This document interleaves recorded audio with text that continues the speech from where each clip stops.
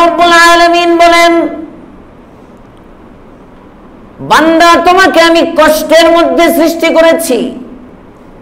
তোমার সৃষ্টির উপাদানের মধ্যে কষ্টের স্বভাব দেয়া তুমি কষ্ট করবে। তবে কষ্ট রিজিকের জন্য বান্দা করতে হবে না। তোমার খাবারের জন্য তোমার কষ্ট করার দরকার নাই। তোমার সংসার চালাবার জন্য তোমার কষ্ট করার দরকার নাই। তুমি কষ্ট করবে বান্দা ইবাদতের জন্যে। যদি বান্দা তুমি কষ্ট করে আমি আল্লাহর ইবাদতের দায়িত্বগুলো ঠিক ঠিক মতো পালন করতে পারো, এই, কি লম্বা জীবনে দিতেছে দেখছ? এন দেবন ঘুম আসলে ওই নিরিবিলি, আর নইলে পিলারের আড়ালে গিয়ে ঘুমান একামতের সময় আবার আসবে।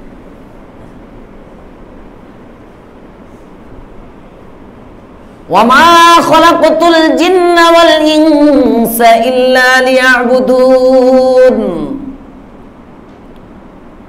আল্লাহ পাক বলেন, বান্দা, তোকে আমি সৃষ্টি করেছি। জিন এবং মানুষকে আমি সৃষ্টি করেছি আমার ইবাদতের জন্যে। মা উরিদু মিনহুম মির রিজকিন। ওয়ামা উরিদু আন ইউতঈমুন বান্দা, আমি বলি নাই, তুমি কষ্ট করে তোমার রিজিকের ব্যবস্থা করো। আমি কোনো বান্দার কাছে তার রিজিকের জিম্মাদারি দেই নাই। আমি আল্লাহ তাআলাও তোমার কাছে রিজিক চাই না, বান্দা, চাই না। মা উরিদু মিনহুম মির রিজকিন। আমি বলি না, আমি আল্লাহকে খাবার দাও। আমি বলি না, আমাকে খাওয়াও। আমি বলি না, আমাকে চালাও। বরং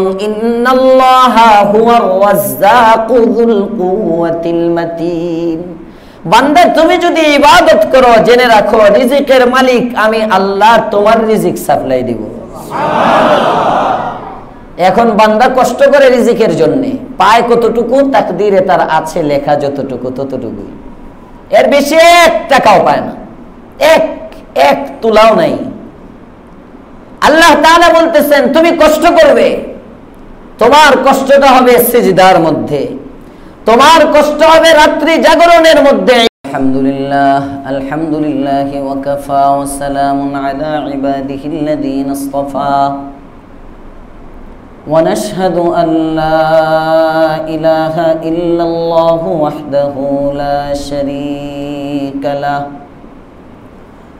ونشهد أن سيدنا وسندنا وحبيبنا وطبيبنا ومولانا محمدا عبده ورسوله.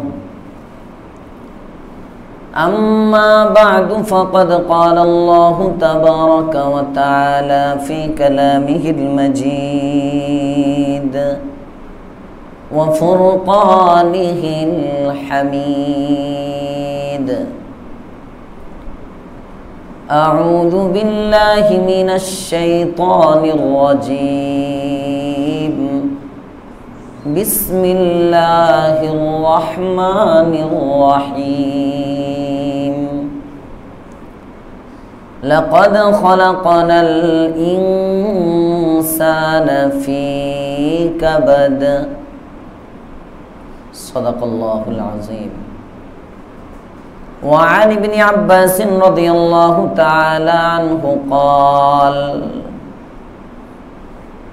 كنت خلف النبي صلى الله عليه وسلم يوما فقال يا غلام إني أعلمك كلمات احفظ الله يحفظك. احفظ الله تجده تجاهك. وإذا سألت فاسأل الله. وإذا استعنت فاستعن بالله. واعلم أن الأمة لو اجتمعت على أن ينفعوك بشيء لم ينفعوك إلا بشيء قد كتبه الله لك. وإن اجتمعوا على أن يضروك بشيء لم يضروك إلا بشيء قد كتبه الله عليك. أو كما قال عليه الصلاة والسلام. اللهم صل على محمد وعلى آل محمد كما صليت على إبراهيم. وعلى آل إبراهيم إنك حميد مجيد. اللهم بارك على محمد وعلى آل محمد كما باركت على إبراهيم وعلى آل إبراهيم. إنك حميد مجيد. اللهم صل على سيدنا محمد النبي الأمي وعلى آله وسلم تسليما. سبحانك لا علم لنا إلا ما علمتنا إنك أنت العليم الحكيم মুআজ্জাজ মুহতারাম মুসল্লিয়ান কেরাম মুরব্বিয়ান নিজাম যুবক বন্ধুরা ছোট ছোট বাচ্চারা শুক্রিয়া আদায় করছি রব্বে করিমের দরবারে যার তৌফিকে সলাতুল জুমা আদায়ের উদ্দেশ্যে মসজিদে আসতে পেরেছি, কালিমত শুকুর পড়ি, আলহামদুলিল্লাহ।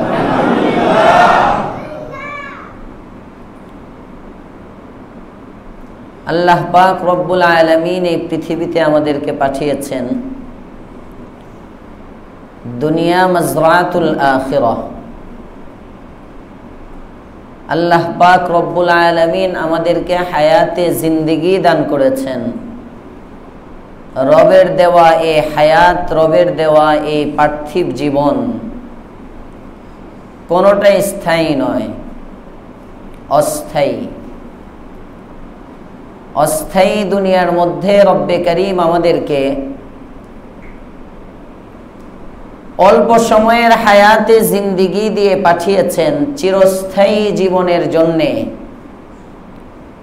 প্রস্তুতি গ্রহণ করার উদ্দেশ্যে। দুনিয়া স্থায়ী না অস্থায়ী? সবাই বলেন। অস্থায়ী। কেউ বলে না দুনিয়া চিরস্থায়ী।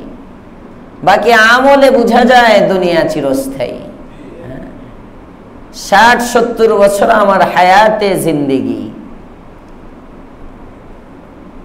এর বেশি যারা সবাই আরেকজনের হায়াত চুরি করতেছে। রসুল করিম ওয়াসাল্লাম বলেছেন, আখিরি জামানার উম্মতের হায়াত হবে গড়ে পঞ্চান্ন, পঞ্চাশ, ষাট, পঁয়ষট্টি সর্বোচ্চ। পঁয়ষট্টির উপরে যারা আছে, আরেকজনের হায়াত চুরি করে আছে গড় হায়াত। ওই যে একটা বাচ্চা দশ বছর বয়সে মারা গেল। তার যুবক তেইশ বছর বয়সের যুবক মৃত্যুবরণ করল। তেত্রিশ বছর বয়সে মারা গেল।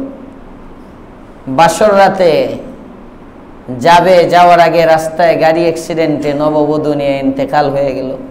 এই যে মরে যাচ্ছে, একজনের হায়াত কম, এগুলো বোনাস হিসাবে ওই আশি বছর, পঁচাশি বছর আরেক জায়গায় যাইতেছে, যোগ হইতেছে। গড় হায়াত পঞ্চাশ, পঞ্চান্ন, ষাট, পঁয়ষট্টি। পনেরো বছর তো শেষ, আমার মোকাল্লাফ হওয়ার আগে বিধিবিধান আরোপ হওয়ার আগেই শেষ। পনেরো বছর খেলাধুলায়, রাস্তায় ঘুরে মার্বেল নিয়ে cricket, ball, tennis ball, football, মাঠে ময়দানে ঘুরে ঘুরে আমার পনেরো বছরের জীবন শেষ, ষাট বছরের জীবন থেকে। আছে কয় বছর? না পাঁচচল্লিশ। এর মধ্যে রাত্র দিন মিলিয়ে পঁয়তাল্লিশ বছর। রাত অর্ধেক, দিন অর্ধেক। রাত তো ঘুমেই শেষ। আরও অর্ধেক বাদ যাবে, কত আছে? সাড়ে বাইশ বছর। সাড়ে বাইশ বছরের মধ্যে আমার ব্যক্তিগত জীবনের ওই যে খাবার দাবার না ঘুমায় ঘুমায়ও খায়। হ্যাঁ? খানা খায় কি? ঘুমন্ত অবস্থায় না জাগ্রত অবস্থায়? তো ঘুমের সময় অর্ধেক আলাদা, রাত শেষ। বাকি আমার সাড়ে বাইশ বছর জীবনের মধ্যে আছে খাবার দাবার, গোসল, সাজসজ্জা অজু ইস্তেঞ্জা দুনিয়ার হাজত, এই সব কিছুকে বাদ দিলে দেখা যাবে অল্প দশ বছর বয়স পাবো। আহ, এই দশ বছরের জীবনটা যার সুন্দর। তার চিরস্থায়ী জীবন, আখেরাতের জীবনটা খুব সুন্দর এই দশ বছরের জীবনের উপর মেহনত করে আমি আমার চিরস্থায়ী বাড়ি, আখেরাতের বাড়ি জান্নাতকে অর্জন করতে পারি। এই দশটি বছরকে অবমূল্যায়ন করার দ্বারা আমি আমার ঠিকানা জাহান্নামও করে নিতে পারি। নাউজুবিল্লাহ এই জন্য আল্লাহ পাক রব্বুল আলমিনের দেয়া এই দুনিয়াতে যে হায়াতে জিন্দিগি, চিরস্থায়ী নয়, অস্থায়ী, ক্ষণস্থায়ী, স্বল্প সময়ের জন্য, ভোগ করবার জন্য নয়, আরাম আয়েসের জন্য নয়, কষ্ট করবার জন্যে। দুনিয়ার জীবন আরামের জন্য না কষ্টের জন্যে? সবাই বলেন কষ্ট কি? ওই যে অফিসে চাকরি করা এই কষ্ট। ক্ষেত খামারে বীজ, ধান, সার, কত কিছু। কৃষক ক্ষেতের মধ্যে কষ্ট করে, এই কষ্ট। আল্লাহ পাক রব্বুল আলামিন বলেন, লাকাদ খলাকনাল ইনসানা ফি কাবাদ। আমি মানুষকে কষ্টের মধ্যেই সৃষ্টি করেছি। তার মানে আমি মানুষের জীবনটা কষ্ট দিয়ে ভরে দিয়েছি। তার এই ক্ষুদ্র জীবনের মধ্যে অনেক কষ্ট আসবে, ঘাত প্রতিঘাত আসবে। এই সমস্ত কষ্টগুলো যদি সে লিল্লাহ আল্লাহর জন্য বরদাস্ত করতে পারে, আল্লাহ পাক রব্বুল আলমিন বলেন, পুরস্কার হিসাবে আমি তাকে জান্নাতের মালিক বানিয়ে দিই। দুনিয়া মালিকানা নয়, আমানত ব্যবহারের জন্যে। হাতের মালিক আমি নই, চোখের মালিক আমি নই। আমার বাড়ি, গাড়ি, আমার আত্মীয় স্বজন, পরিবার, পরিজন, আহলো আয়াল, কোনো কিছুরই মালিক আমি নই। আমাকে দেখশনের জন্য দেয়া, দারোয়ান, পাহারাদার। চোখকে আমি আল্লাহ তাআলা যেভাবে দিলাম, এভাবে আমার কাছে নিয়ে আসবি, চোখ যেন নষ্ট না হয়। এত উদার হবি না, তোর চোখ আরেকজনকে দান করে দিবি। আমার ইন্তেকালের পরে আমার কিডনি দিয়ে দিলাম। দানবীরের অভাব নাই। মনে হয় তার বাবার টাকার কিনা কিডনি। স্বেচ্ছায় কিডনি দান। স্বেচ্ছায় চক্ষু দান। কোথায় আছে এগুলো? ইসলাম এগুলোকে সাপোর্ট করে না। তুমি কার চোখ দিচ্ছ? তোমার বাড়িটা তো একটা মাদ্রাসার নামে দান করে দিয়ে যেতে পারলা না। তোমার ব্যাংক ব্যালেন্সে কোটি কোটি টাকা, এটা তো কোনো মসজিদের নামে দিয়ে গেল না। ওগুলোর উত্তরাধিকারী আছে। চোখ, এটা তোমার আমানত, চক্ষু দান করা যায় না। কিডনি, এটা তোমার আমানত। ইন্তেকালের আগে তুমি উদার, আরে বাবারে ওদেরকে আবার পুরস্কার, মরণোত্তর পুরস্কার। হ্যাঁ? দেশের জন্য তাদের এত অবদান, নিজের কিডনিটা দিয়ে গেছে, নিজের চক্ষু দিয়ে গেছে। আহ! মনে হয় পত্রিক সূত্রে পাওয়া। এগুলো আমার চোখ হেফাজত করতে হবে। যেভাবে আমি রব পাক পবিত্র অবস্থায় দিয়েছি, এই পাক পবিত্র চক্ষুগুলো আমার কাছে নিয়ে আসতে হবে। নয়তো ময়দানে মাসরে চোখের জিনার হিসাব দিতে হবে। এক কদম ছাড়বাবি না। আমি পাক পবিত্র হাত দুটো দিয়েছিলাম বান্দা। এই হাত হিসাব দিতে হবে। আমি পবিত্র পা তোমাকে দিয়েছিলাম না পাক ছিল না। পায়ের হিসাব দিতে হবে। বাক শক্তি আমি রবের দেয়া, হিসাব দিতে হবে। তো যা কিছু আমি দু চোখে দেখি, আমি যা ভোগ করি, সব কিছু আমার মালিকানা নয়, সব আমার কাছে আমানত। আমি পাহারাদার। আমার এই জীবনটাও আমার কাছে আমানত। কেন দিলেন? দুনিয়ায় কষ্ট করবে পরজগতের সুখের জন্য আল্লাহ পাক রব্বুল এটাই কোরআনে অন্য আয়াতে বলেন, ওয়ামা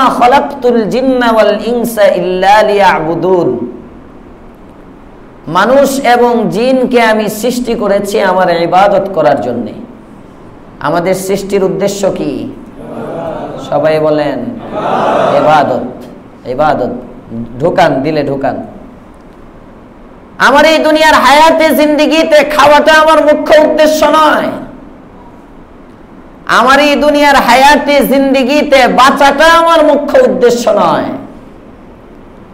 দুনিয়া বাঁচার জন্য নয়, দুনিয়া পড়ার জন্য নয়, দুনিয়া খাওয়ার জন্য নয়, দুনিয়া ফুর্তি করার জন্য নয়, দুনিয়া কিসের জন্যে?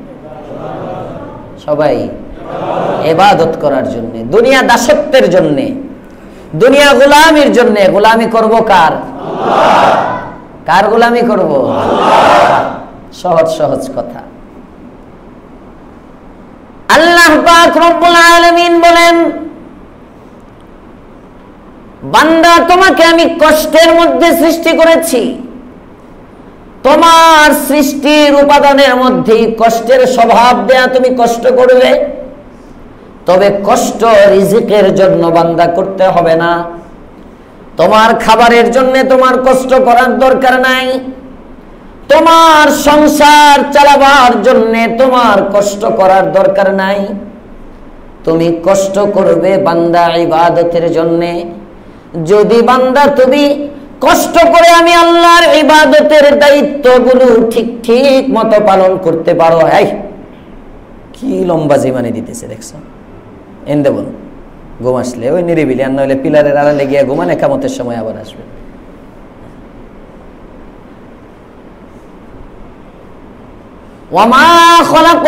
জিন্না ওয়াল ইনসা ইল্লা লিয়াবুদুন। আল্লাহ পাক রব্বুল আলামিন বলেন, বান্দা, তোকে আমি সৃষ্টি করেছি। জিন এবং মানুষকে আমি সৃষ্টি করেছি আমার ইবাদতের জন্য। মা উরিদু মিনহুম মির রিজকিন ওয়ামা উরিদু আন ইউতঈমুন বান্দা, আমি বলি নাই তুমি কষ্ট করে তোমার রিজিকের ব্যবস্থা করো। আমি কোনো বান্দার কাছে তার রিজিকের জিম্মাদারি দেই নাই। আমি আল্লাহ তাআলাও তোমার কাছে রিজিক চাই না, বান্দা, চাই না। মা উরিদু মিনহুম মির রিজকিন। আমি বলি, না, আমি আল্লাহকে খাবার দাও। আমি বলি, না, আমাকে খাওয়াও। আমি বলি, না, আমাকে চালাও। বরং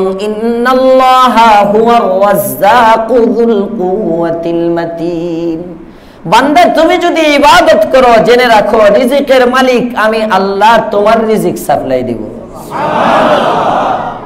এখন বান্দা কষ্ট করে রিজিকের জন্য, পায় কতটুকু, তাকদিরে তার আছে লেখা যতটুকু, ততটুকুই। এর বেশি এক টাকাও পায় না। এক এক তুলাও নাই। আল্লাহ তাহলে বলতেছেন, তুমি কষ্ট করবে। তোমার কষ্টটা হবে সিজদার মধ্যে।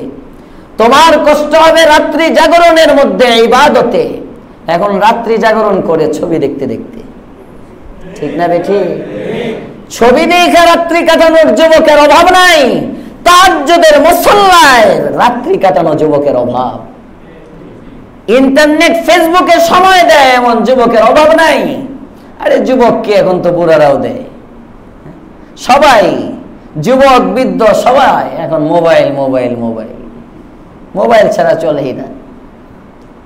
মোবাইল না হলে হয় না মোবাইলে সময় দিতে হয়। ইন্টারনেটে একটু ঢুকতে হয়, নয়তো ঘুম হয় না। এমন ঘুমের দোয়া, ঘুমের ঔষধ। নেটে একটু না ঘুরলে ঘুম আসে না। তোমার কষ্ট তুমি রাত্রি জাগরণ করে দিলা মোবাইলের মধ্যে। আল্লাহ বলেন, না, এই কষ্টটা এত দরকার নাই, সারা রাত ঘুমাও। রাতের কিঞ্চিত অংশ, মাত্র দশটা মিনিট, দুই রাকাত নামাজ পড়ে আমি রবের কাছে হাত উঠাও। তোমার চব্বিশ ঘণ্টার জিম্মাদারি আমি আল্লাহ চব্বিশ ঘণ্টার জিম্মাদার আমি আল্লাহ, সুবহানাল্লাহ। وما خلقت الجن والإنس إلا ليعبدون অবান্দা তুমি পাগলের মতো কোথায় দৌড়াও কার কাছে যাও কে তোমার খালিক কে তোমার মালিক একটু চিন্তা করলা না শুধু কি তোমাকে আমি তোমার জন্য সৃষ্টি করেছি না না না এই বিশাল সাতটি আসমান আমি তোমার গোলামির জন্য বানিয়েছি এই বিরাট স্তরে স্তরে সাত জমিন আমি তোমার জন্য সাজিয়েছি। বড় বড় পর্বতমালা, পাহাড়, পর্বত, সাগর, নদী, নালা, যা কিছু বান্দা দেখো, সব কিন্তু বান্দা তোমার গোলাম করে বানাইছি। হুজুর কই? কথা তো শুনে না। আমি যা চাই বৃষ্টি উল্টা চলে। আমার যখন বৃষ্টি দরকার, তখন বৃষ্টি আসে না। আমার যখন বৃষ্টি দরকার নাই, তখন তো ঠাডা পড়ে মরে যায়। ঠিক না বেঠি আমার দরকার গুড়ি গুড়ি বৃষ্টি, তখন তুফান হইতেছে। আমার বৃষ্টি দরকারই নাই, রোদ দরকার, বৃষ্টি আর বৃষ্টি। আমার বৃষ্টি দরকার, তখন আকাশে রোদ। সব উল্টা। আল্লাহ বলেন নিজাম উল্টে নাই। আমি যা বলেছি তাই ঠিক। এই সূর্য তোর গোলামি করত চন্দ্র তোর গোলামি করত আসমান জমিন সাগর নদী নালা সব তোমার গোলাম ছিল। এখনও আছে। কেয়ামত পর্যন্ত তোমার গোলাম কতক্ষণ? বান্দা তুমি আল্লাহর গোলাম যতক্ষণ। তুমি আল্লাহর গোলাম যতক্ষণ। এই সব তোমার জন্য। ये जमी मेरे लिए आसमां मेरे लिए और है मफरूक कुदरत कुल जहां मेरे लिए হযরত মুফতি শফি সাহেব রহমাতুল্লাহ আলাইহি লেখে জমিন আসমান সব তো আল্লাহ আমার জন্য বানাইলেন শুধুমাত্র আমি কার আমি আল্লাহর আমি আল্লাহ এখন আমি আমার হয়ে গেছি আমি আল্লাহ তাআলার দায়িত্ব পালন করি না আমি গোলামির জিন্দিগি ছেড়ে দিছি, যে কারণে আল্লাহ বলেন, তুই মনিব হইছস যা। পাহাড়কেও আমি মনিব বানাই দিলাম, এ তোর কথা শুনবে না। পানিকে আমি মনিব, অন্যথায় পানি তো এমন ছিল।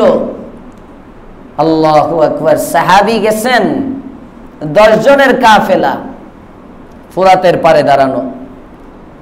আলবিদায়ার মধ্যেও আছে, তারিখে তবারির মধ্যেও আছে। দজলা ফুরাত পাড়ি দিবেন।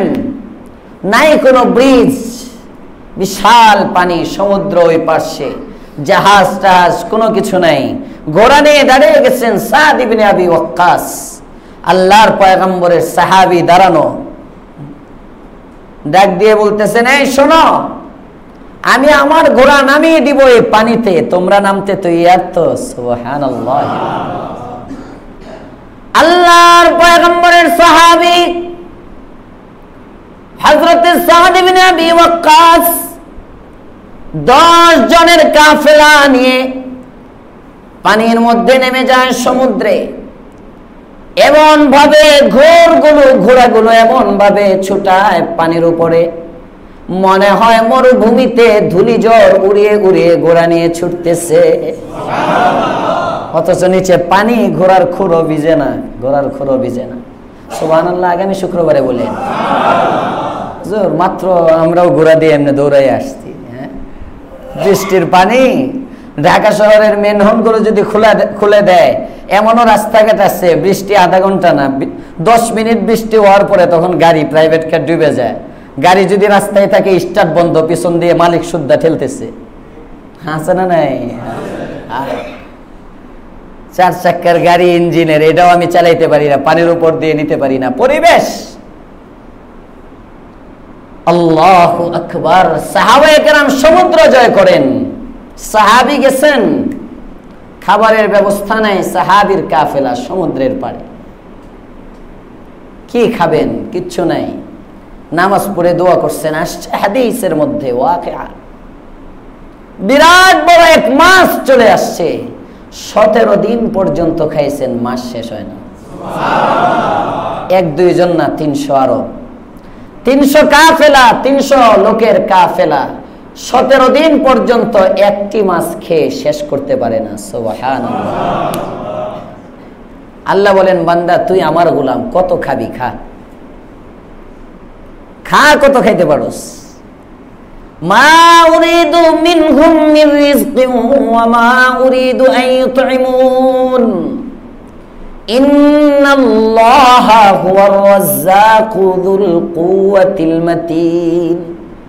আমি আল্লাহ রাজ্জাক আমি রিজিক দাতা আমি শক্তিধর, সব ক্ষমতা আমি রবের হাতে। বান্দা, তুমি একটি কাজ করো এই ইবাদতের মাধ্যমে আমি রবের সাথে সম্পর্ক স্থাপন করো। দুনিয়ার হায়াতে জিন্দিগি এটা দুনিয়ার জীবন থাকার জন্য নয়। পরজগতের জীবন সাজাবার জন্যে দুনিয়ার জীবন। পরজগতের জিন্দিগিকে সাজানোর জন্য রবের দেওয়াই দুনিয়ার জীবন। এই পার্থিব জীবন যার যত সুন্দর হবে আমলের দ্বারা, তার পরজগৎ তত সুন্দর হবে। আমল করতে তৈয়ার তো ইনশাআল্লাহ। তিনটা আমল করবেন। আজকে যে হাদিস পড়েছি আল্লাহ রসুল সাল্লাহ আলহি সাহাবি হজরত ইবনে আব্বাস বলেন, আমি একদিন রসুলের পিছনে ছিলাম, তিরমিজিতে এসেছে হাদিস। কুমতু খালফান নবী সাল্লাল্লাহু আলাইহি ওয়াসাল্লাম ইয়াওমান আমি একদিন রাসূল করিম সাল্লাল্লাহু আলাইহি ওয়াসাল্লামের পিছনে ছিলাম। ফাকাল, ইয়া গুলাম! ছোট্ট বাচ্চা তো, ইবনে আব্বাস, ছোট। রাসূলের ইন্তেকালের সময় ওনার বয়স মাত্র 13 বছর। রাসূল যখন মারা যান ওনার বয়স মাত্র 13 আর কোন কোন ঐতিহাসিক বলেন তখন ওনার বয়স ছিল পনেরো। তেরো হোক পনেরো হোক ছোট বাচ্চা। বহুত বড় আলিম ছিলেন।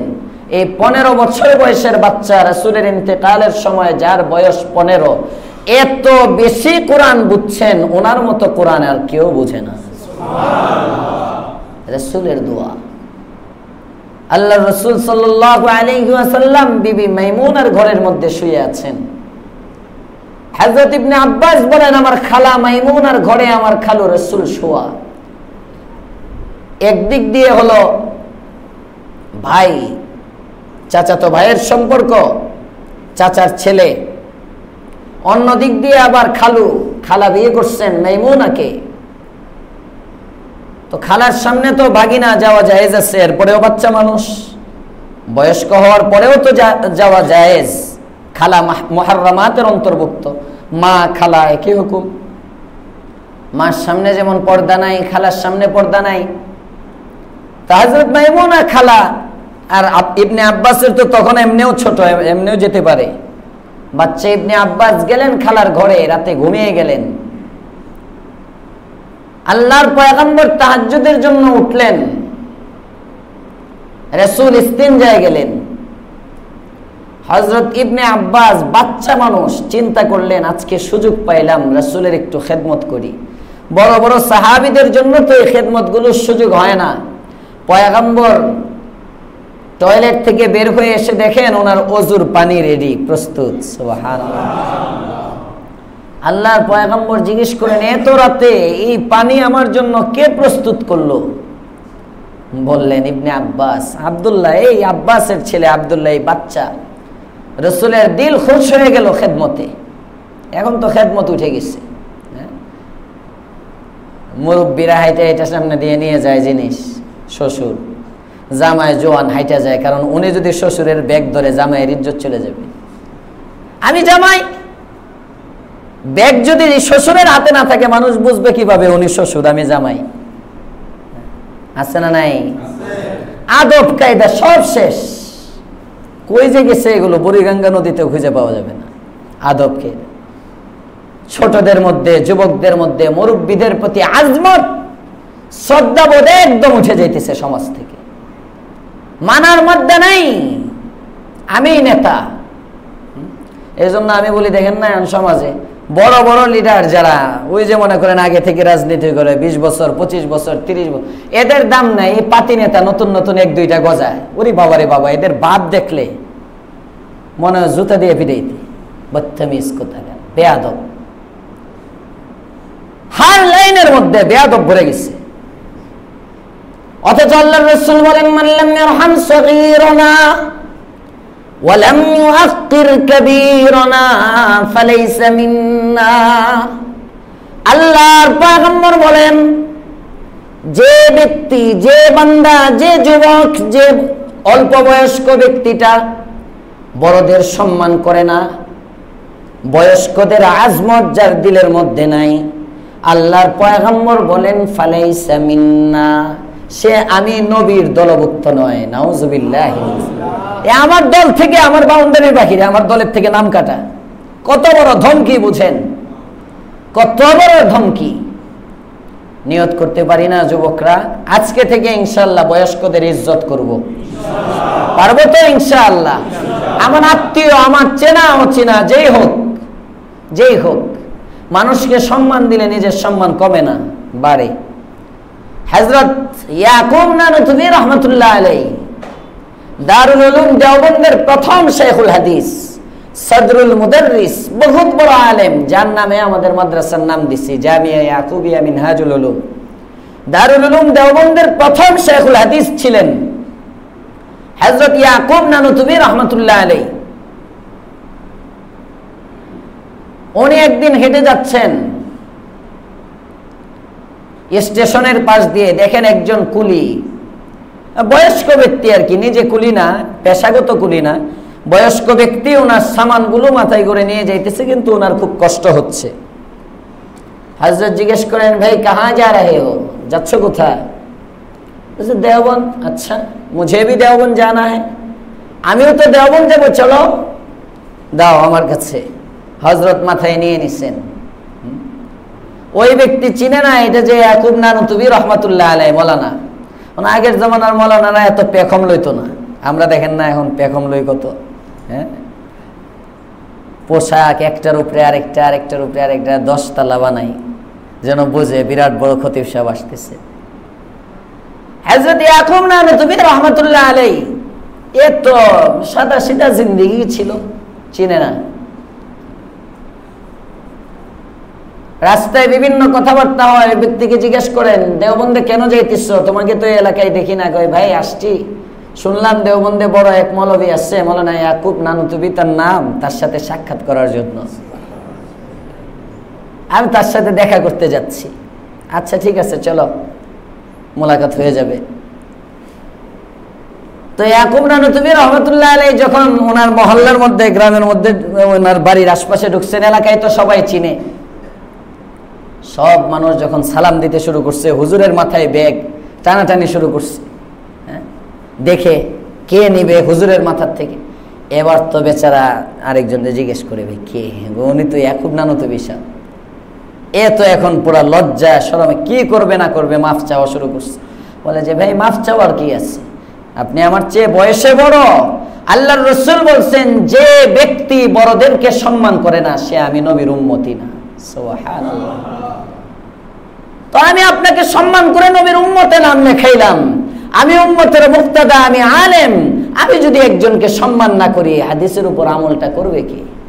এগুলো ছিল শান, আর এখন? উঠে গেছে, নাই। মুরব্বীদের আজমত নাই। আল্লাহ মুরব্বীদের আজমত আমাদের দিলের মধ্যে দিয়ে দাও, বলেন আমিন। খেদমত। একজন মুরব্বী নিয়ে যাইতেছে বয়স্করাও ছোটদেরকে সম্মান দয়া করা, দুটোই আছে। হ্যাঁ আবার আজকে থেকে বয়স্ক যারা কিরে খতিব সাহেব কইছে ধর, ব্যাগটা ধর। হ্যাঁ? আয় বেটা লয়ে যা বেদব না না না। আপনি ছোটদের প্রতি দয়া করবেন, ছোটরা বড়দের প্রতি সম্মান করবে, উভয়টাই। মাল্লাম ইয়ারহাম সগীরানা ওয়ালাম ইউআক্কির কাবীরানা ফালাইসা মিন্না। বয়স্কদের দায়িত্ব ছোটদেরকে দয়া করা। আর ছোটদের দায়িত্ব বয়স্কদেরকে সম্মান করা। আমরা যুবক যারা আছি, কোন মুরব্বীর মনে আজ থেকে কষ্ট দিব না, পারব তো ইনশাআল্লাহ। কোন মুরব্বীর দিকে চোখ তুলে তাকাবো না, এগুলো আখলাক ঠিক করেন। চরিত্র ঠিক করেন এমনি দেখবেন ফিলিস্তিন বিজয় হয়ে গেছে। আপনারা তো বাংলাদেশে বসে বসে ঘুষ, সুদ, নেশা, মদ, ইয়াবা হ্যাঁ সমাজের মধ্যে ইসলাম নাই, ব্যক্তি জীবনের মধ্যে ইসলাম নাই, গোটা বিশ্বের মধ্যে ইসলাম জিন্দা করার স্বপ্ন দেখি। আমরা হইলাম এরকম মুসলমান, ঠিক না বেঠি? গোটা বিশ্বের মধ্যে কেল্লা ফতেহ কর দেঙ্গে। ইসলাম পুরো বিশ্বে আমেরিকার টুইন টাওয়ার থেকে শুরু করে এখন তো নাই, হোয়াইট হাউস থেকে শুরু করে একেবারে বাংলাদেশের সংসদে বাংলাদেশের সংসদ, ভারতের সব জায়গায় ইসলামকে জিন্দা করে ফেলব। আরে বাবা রে বাবা, অথচ আমার সাড়ে তিন হাত বডির মধ্যে ইসলাম নাই, এখনও সুন্নতি দাড়িটা রাখতে পারিনি। আল্লাহ আমাদেরকে বুঝবার তৌফিক দাও, বলেন আমিন। আগে আমার আখলাক বানাইতে হবে। আগে আমার চরিত্র ঠিক করতে হবে। না জানি আমার মধ্যে ইসলাম না থাকার কারণে আজকে আমার ভাইরা মরতেছে, এটা মনে করতে হবে। আমারও কোনো কারণ, আমারও কোনো আমল এ মায়ের খাওয়ার মধ্যে দায়ী কিনা। এভাবে নিজেকে নিয়ে চিন্তা করা, নিজেকে সুন্দর করা, আল্লাহ তাআলা তৌফিক দান করেন। হজরত ইবনে আব্বাস, বাচ্চা মানুষ, রসুল দোয়া করছেন, আল্লাহুম্মা আল্লিম তাওয়িল ওয়া ফাক্কিহহু ফিদ্দিন ইয়া আল্লাহ এই বাচ্চা ছেলেটা আমার এই রাতের বেলা তাহাজ্জুদের সময় ঘুম থেকে উঠে আমি নবীর অজুর পানিটা রেডি করে দিল। আমার দিলটা খুশ হয়ে গেছে, আমি পয়গাম্বর দোয়া করতেছি, একে তুমি কোরআনের আলেম বানায় দাও। আল্লাহ তাআলার পয়গম্বরের দোয়া এমন কবুল করছেন, বয়স মাত্র পনেরো, রাইসুল মুফাসসিরিন, সমস্ত সাহাবিদের মধ্যে কোরআন সবচেয়ে বেশি বুঝেন আব্দুল্লাহ ইবনে আব্বাস। ওই ইবনে আব্বাস বলেন, একদিন আমি রসুলের পিছনে হয়তো কোনো বাহনের মধ্যে ছিলেন গাড়িতে। কুনতু খালফান নবী সাল্লাল্লাহু আলাইহি ওয়াসাল্লাম ইয়াওমান একা একই ছিলেন। হাদিসের ভাবে বোঝা যায়। তিনি বলেন, আমি রসুলের পিছনে ছিলাম একদিন। হয়তো দুইজনে একসাথে হাঁটতেছেন, উনি পিছনে পিছনে যাচ্ছেন। অথবা এক বাহনের মধ্যে ইবনে আব্বাস পিছনে বসা, রসুল সামনে বসা। আল্লাহ রসুল বড় আদরের একটা ডাক দিলেন, ইয়া গুলাম, এই বাচ্চা, এই ছেলে, এই শিশু, এই বাচ্চা, গুলাম। নাবালেক বাচ্চাকে আরবিতে গুলাম বলা হয়। বালেককে আরবিতে গুলাম বলে না। প্রাপ্তবয়স্ককে গোলাম বলে না। আল্লাহ রসুল ডাক দিলেন, ইয়া গোলাম, এই বাচ্চা, ইন্নি ও আল্লিমুকে কালিমাতিন। কেমন যেন হাদিসের বাপটা এমন, সবসময় আমার পিছনে পিছনে ঘুরো। আসো, তোমাকে কয়েকটা মন্ত্র শিখিয়ে দেই। এই আল্লিমুকে কালিমাতিন, কয়েকটি কালিমা, কয়েকটি কথা, কয়েকটি মন্ত্র তোমাকে শিখিয়ে দেই। যদি তুমি এগুলো আমল করো, পৃথিবীর কোনো মানুষ তোমার কোনো ক্ষতি করতে পারবে না। কিছুই হবে না তোমার। হজরত ইবনে আব্বাস বলেন, আমি বললাম, বলেন রসুল। আল্লাহ রসুল বলেন, এক নম্বর আদেশ, ইহফাজিল্লাহ, ইহফাজকা। তুমি আল্লাহকে হেফাজত করবা, আল্লাহ তোমাকে হেফাজত করবে।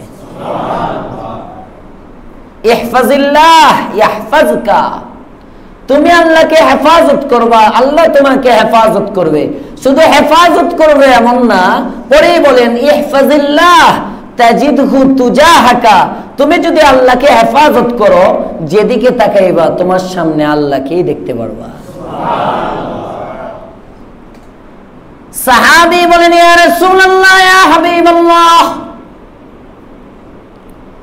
দ্বিতীয় আদেশটা কি জানতে চাই? আল্লাহর পয়গম্বর বলেন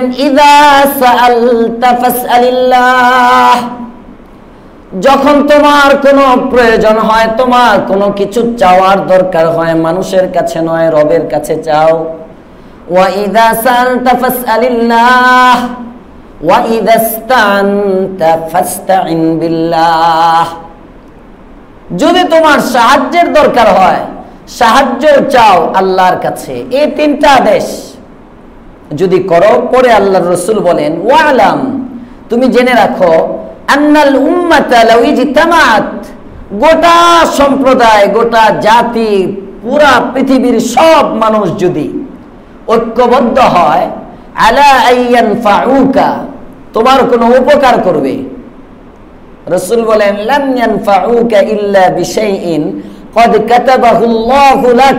পুরা পৃথিবীর মানুষ মিলে তোমার কোনো উপকার করতে পারবে না, তবে ওইটাই পারবে যেটা তোমার তকদিরে আল্লাহ লিখে রাখছে। এটা সব মানুষ না চাইলেও হইতো, বুঝেন? আবার বিপরীতে যদি সকলে মিলে ঐক্যবদ্ধ হয়, আলা তোমার ক্ষতি করতে। পারবে না লামিয়াদুর রুক তারা তোমার কোনো ক্ষতি করতে পারবে না। ইল্লা বিশাইইন কদ কাতাবাহুল্লাহু আলাইকা তবে ওই ক্ষতি তোমার হবে যা তোমার তকদিরের মধ্যে লেখা। তাহলে সবকিছু কার পক্ষ থেকে হয়? ভালো? মন্দ? ভালো আমার তকদিরে লেখা, মন্দ আমার তকদিরে লেখা। রাস্তায় চলতে গেলে অ্যাক্সিডেন্ট হবে, কেউ জানে না, জানেন কে?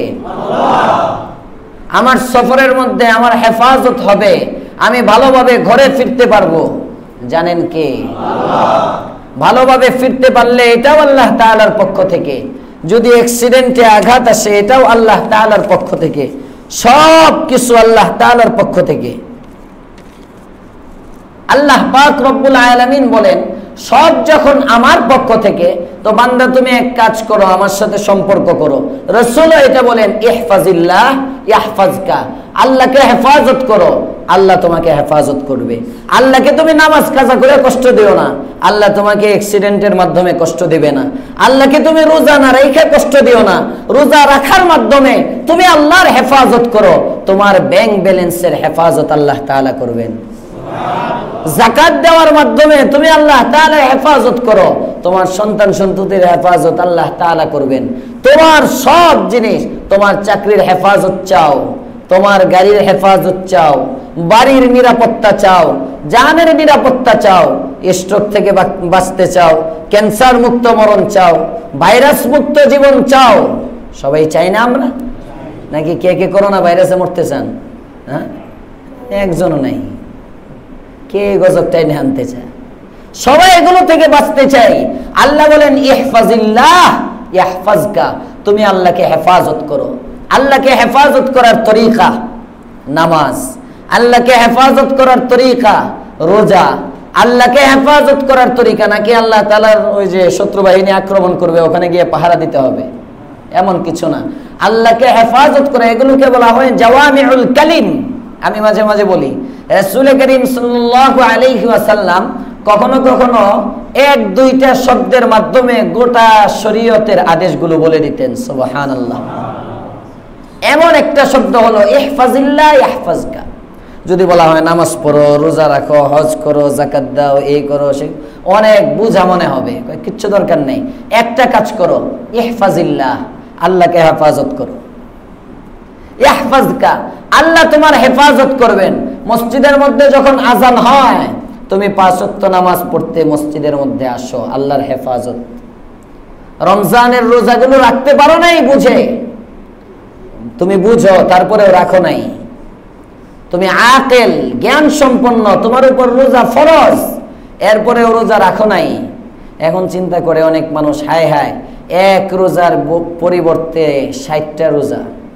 এক রোজা আমি ওই যে গ্রামের বাড়িতে গেলাম ঈদের পরে, আমাদের গ্রামে, তো পাশের এক মহল্লায়, ওখানে গিয়ে কারগুজারি শুনলাম, পুরা গ্রামের মধ্যে পাঁচজন পুরুষ আর তিনজন মহিলা রোজা রাখছে আর বাকি সবাই রোজা রাখে নাই। নাওজুবিল্লাহ বলবেন না? এমন গ্রাম আরও কত আছে আল্লাহ জানে। ওই যে কৃষি কাজ করতেছে, ধান টান খুব বাম্পার ফলন, নারী পুরুষ সব মিলাইয়া, বাস চলতেছে, ধান উঠাও। হুম? রোজা নেই। হায় হায় হায়। সফর করলে অভিজ্ঞতা হয়।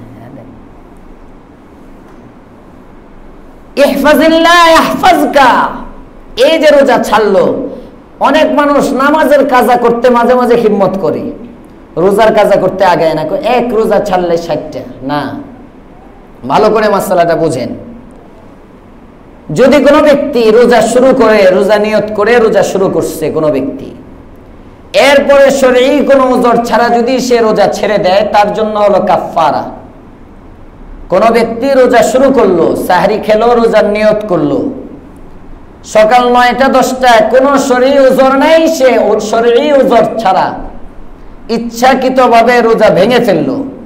এমন ব্যক্তির জন্য মাসালা হলো, সে এক রোজার পরিবর্তে ষাটটি রোজা রাখবে কাফারা কোন ব্যক্তি রোজা শুরুই করে নাই। রাখেই নাই। রমজানের আগেই নিয়ত, আমি রমজানের রোজা রাখব না, নাউজুবিল্লাহ কিংবা সারি খায় নাই, কালকের রোজা আমি রাখব না। এমন যারা তাদের জন্য কাফারা না, এমন ব্যক্তি এক রোজার পরিবর্তে একটা রোজা কাজা করলেই হয়ে যাবে। শরীয়ত সহজ করে দিচ্ছে আল্লাহ তালাই আপনি রোজার নিয়তি করেন নাই। তো এমন যারা আছেন, রোজার নিয়তি করেন নাই। কাজা হয়ে গেছে, বুঝতে পারেন নাই। তওবার নিয়তে রোজাগুলোর কাজা আদায় করেন। এক রোজার পরিবর্তে একটা রোজা রাখেন। তিরিশটা রোজা রাখলে এই মাসে দশটা রাখেন, আগামী মাসে দশটা রাখেন। রোজা স্বাস্থ্যের জন্য উপকারী। সপ্তাহে তিনটা তিনটা রাখেন। তাও মাসে দেখবেন যে হয়ে গেছে বারোটা। সপ্তাহে দুইটা করে রাখলেও তো হয়ে যাবে অনেকগুলো। এভাবে দুই তিন মাস লাগলেও সমস্ত রোজা যারা রোজা রাখেন নাই, অন্তত গোয়াল ঠেকের মধ্যে। কোনো বেরোজাদার যেন না থাকে, যারা রাখে নাই, এরা কাজা করে ফেলবে। আল্লাহ পাক রব্বুল আলামিন তাদেরকে তৌফিক দান করেন, বলেন আমিন। আর যারা ছেড়ে দিছে, তাদের তো কাফারাই দিতে হবে। রাখার পরে যারা ছেড়ে দিচ্ছে এই জন্য এই মাসালাটা নিজেও আরেকজনের কাছে দাওয়াত পৌঁছাবেন, আগামী বছর সারার জন্য না। যে এত সহজ জানলে তো রোজা এই বছর আরও কয়েকটা কমায় লইতাম কম রাখতাম, পরে কাজা করে নিতাম এই নিয়তে না। বরং যাদের ছুটে গেছে, তাদের কাজা রোজাগুলো অনেকে মাসালা জানে না। এটা জিম্মা, এক একটা রোজা থেকে গেলে জাহান নামে জ্বলতে হবে। নামাজ এটা আল্লাহকে হেফাজতের মাধ্যম। রোজা এটা আল্লাহকে হেফাজতের মাধ্যম। জাকাত আল্লাহকে হেফাজতের মাধ্যম। হজ আল্লাহকে হেফাজতের মাধ্যম। হুকুকুল্লাহ, আল্লাহর যত হক বান্দার উপর আছে, এই সবগুলো আদায় করা আল্লাহকে হেফাজতের মাধ্যম। হুকুকুল ইবাদ বান্দার যত হক বান্দার উপর আছে এই বান্দার হকগুলো আদায় করা এটা আল্লাহকে হেফাজতের মাধ্যম। আল্লাহ পাক রব্বুল আলমিনের পক্ষ থেকে পয়গম্বর বলেন ইহফাজিল্লাহ তুমি যদি আল্লাহর হকগুলো আদায় করে আল্লাহর হুকুকগুলোর হেফাজত করো আল্লাহ পাক রব্বুল আলমিন তোমার হেফাজতের জিম্মাদারি নিয়ে নেবেন। আল্লাহ পাক রব্বুল আলমিন আমাদের সকলকে তার হুকুক আদায়ের মাধ্যমে, তার হেফাজতে, তার জিম্মায় চলে যাওয়ার তৌফিক দান করে।